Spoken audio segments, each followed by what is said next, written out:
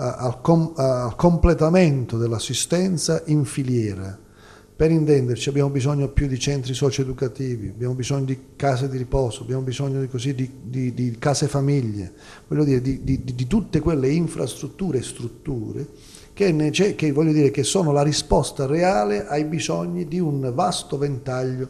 di disagio, dal neuro, dal, dallo psichiatrico eh, insomma, voglio dire, a, a, all'anziano, eh, all'alcolista, insomma, noi abbiamo bisogno di mettere in campo più eh, risorse indirizzate e destinate alla realizzazione di queste strutture. Solo così noi potremo, diciamo così,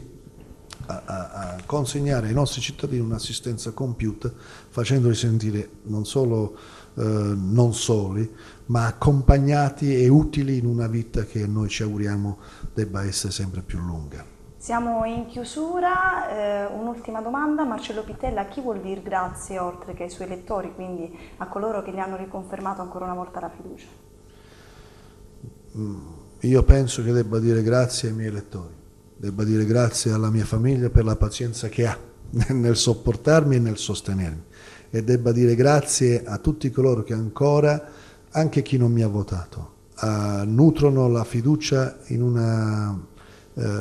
nelle istituzioni, nei partiti, nella politica e in una vita attiva democratica che rappresenti, a mio giudizio,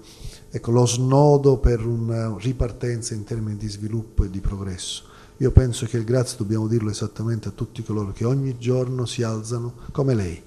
e lavorano per questa nostra società, al netto della preferenza e del voto. Io mi rivolgo esattamente a questo mondo, a questa società e poi all'interno di questo mondo, di questa società, mi pongo come, con grande umiltà e con grande disponibilità come persona eh, insomma,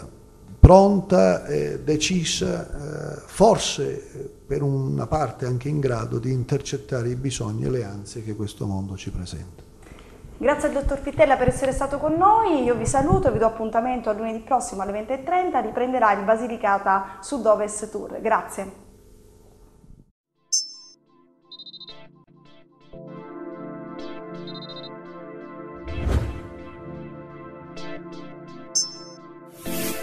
I'm